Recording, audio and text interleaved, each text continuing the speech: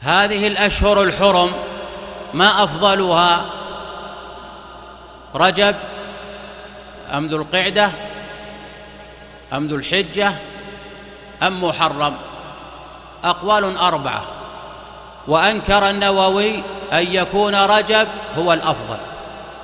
إذن ورد في شهر محرم أثران مرسلان عن الحسن البصري.